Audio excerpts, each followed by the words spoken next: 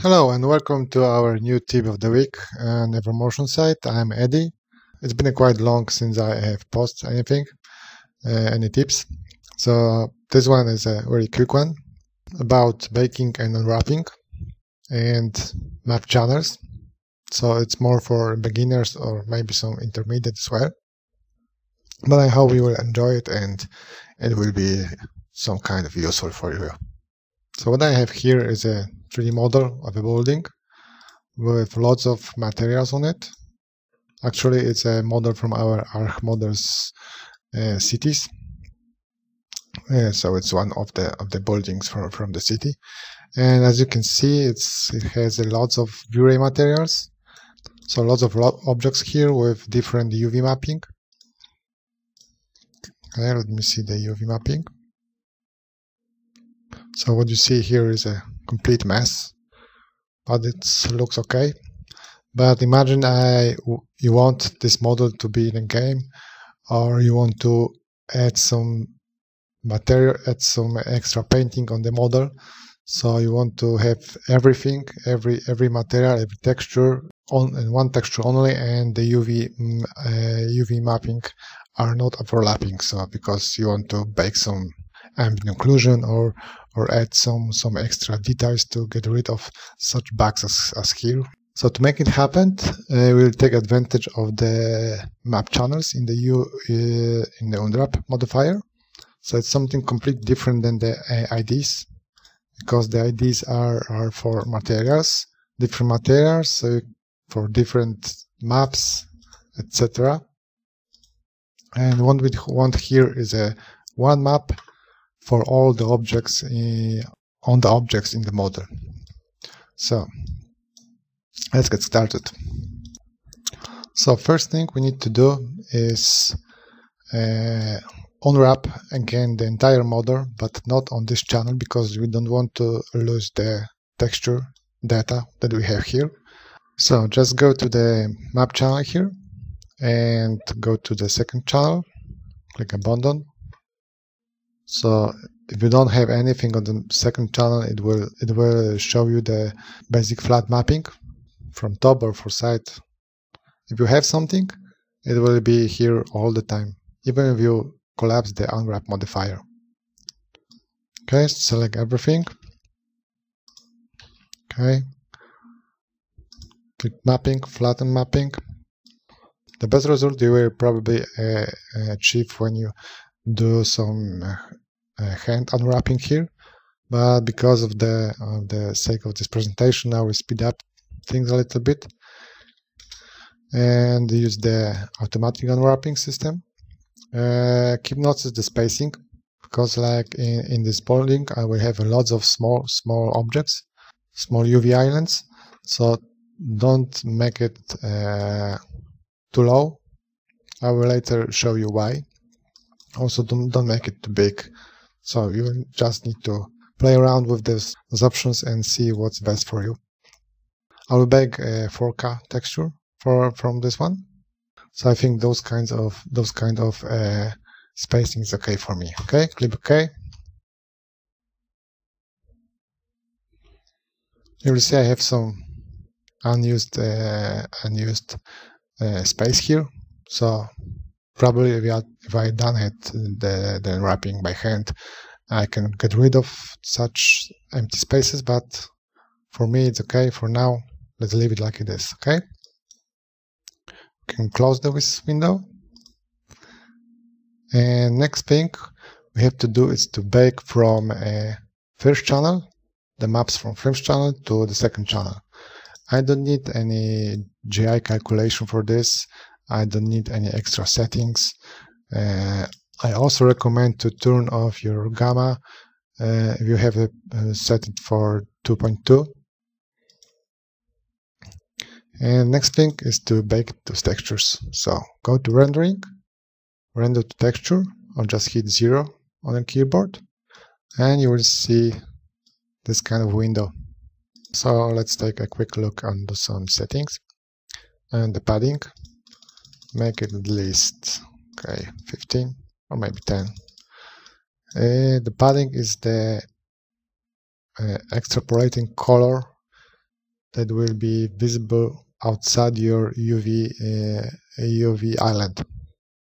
It's very useful because we have lots of small small maps, and in case of rendering engines, uh, real-time rendering engines, when it comes to mip mapping, you can see if the padding is too small, you can see some mm, black lines on, on your model, some seams actually.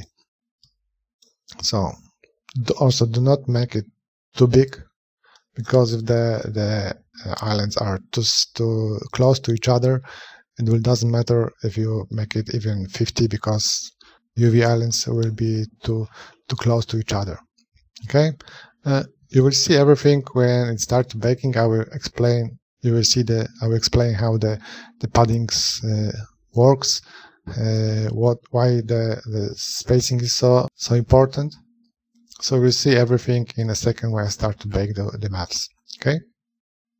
So next thing is the channel because we need to bake on the second channel. We want to bake from first one to second one. So I need to choose the second one.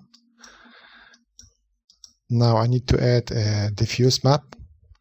Uh, because I'm using the V-Ray, the original materials are V-Ray, so I will I have to use the V-Ray uh, diffuse map, diffuse filter. If you are baking from scanline, you will use probably the diffuse map. Okay, add element. Uh, I'll choose the, the resolution. I want a big one because I have lots of lots of uh, things here. Okay, 4K by 4K. Now choose the destination. Okay, I have example here already. Molding map, color map. Okay. We don't need a color mapping. And just hit render. Okay, continue. I already see the last map I have baked already here because I have done some tests. So we already see the progress. This area here is the padding actually. So this, this what you can see here are 10 pixels padding. Uh, like you see, here's a UV island and here as well. The spacing between them is smaller than actually the, the 20 pixels because you will see here this is 10 pixel and this is as well 10 pixels so the spacing between the, the models is okay for this resolution but if you if you lower the resolution of this map to for example 1k the spacing between those maps could be too small and you you can see some seams uh, on the edges. Okay? Now all we need to do is wait for the map to to be baked. Okay, so the texture is baked and I will put a standard material on the object and put my map here. Uh, this one, okay. And this one. And channel 2 because it's baked from channel 2 UV mapping. Okay. It looks like it's low res, but it's looking like this only in the viewport settings because I'm using the nitrous. So if you want to uh, see how it really looks, you have to put it as a realistic material. And here we go. So there is our map. So one map, uh, one color on uh, on the UV map. So one map for every objects in the ob every small objects in the building. So right now I can bake my uh, ambient occlusion because I don't have any UV mapping islands over overlapping. Uh, I can uh, add some extra painting on some some details here in the Mari or, or other uh, texturing software.